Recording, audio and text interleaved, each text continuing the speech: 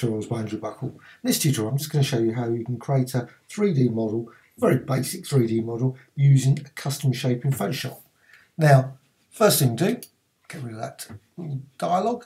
Now, just go to the custom shape tool, make something as a shape, and select the shape. Now these are Italian type designs, you can find them on the Graphicxtras website.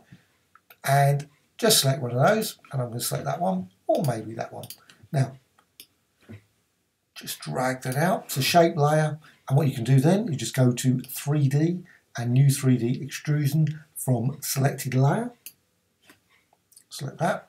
Now, got the 3D design. You can rotate it, do various other things, but the key thing here is I can export it. I'm actually going to just modify the extrusion depth a little bit there.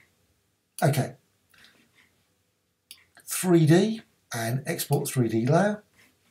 I'm going to go with default. I'm going to go for OBJ object file and now just select OK. I'm going to go for 3 and it's exported. Now you can do other things. You can flatten this. You can do turn it into a smart object, apply effects and all that sort of stuff. But what I'm going to do now is going to go to Blender.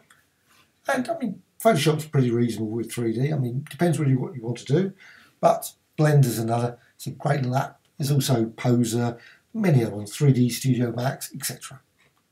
Now, File and Import, and I'm just going to quickly go for the object file. Now, there's the file, 3.obj. Now, once you brought it in, there's translate, and of course there's a whole load of different options, apply materials, etc.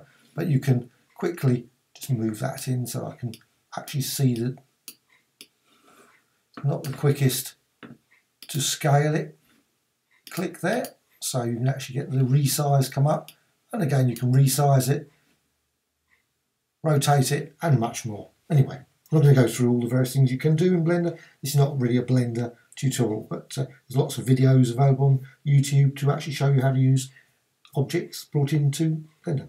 Hope you found this of interest. Thank you much.